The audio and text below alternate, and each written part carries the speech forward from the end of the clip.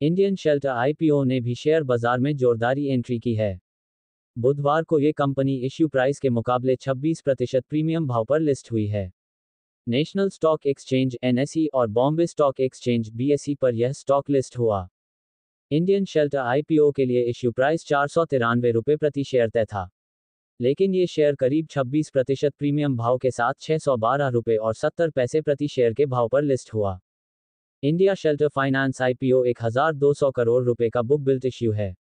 इसमें 800 करोड़ रुपए का फ्रेश इश्यू और 400 करोड़ रुपए का ऑफ़र फॉर सेल था। 13 से 15 दिसंबर के दौरान आईपीओ सब्सक्रिप्शन के लिए खुला। इस आईपीओ के लिए प्राइस बैंड चार सौ उनहत्तर रुपये माइनस चार सौ तिरानवे रुपये प्रति शेयर तय किया गया था। 12 दिसंबर को कंपनी ने एंकर निवेशकों से 360 करोड़ रुपए जुटाए थे। इंडिया शेल्टर फाइनेंस क्या करती है? साल उन्नीस सौ अट्ठानवे में शुरू हुई ये कंपनी पहले सत्यप्रकाश हाउसिंग फाइनेंस के नाम से जान जाती थी, जो हाउसिंग फाइनेंस का काम करती है। ये कंपनी घर बनाने, एक्सटेंशन, रेनोवेशन से लेकर नए घर और प्लॉट खरीदने के लिए लोन मुहैया कराती है। ये company loan against property, LAP भी ऑफ़र करती है।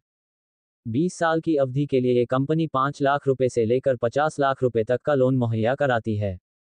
सितंबर 2023 तक कंपनी के बार 15 राज्यों में 203 ब्रांच है। राजस्थान, महाराष्ट्र, मध्य प्रदेश, कर्नाटक और गुजरात जैसे राज्यों में इस कंपनी की मौजूदगी है।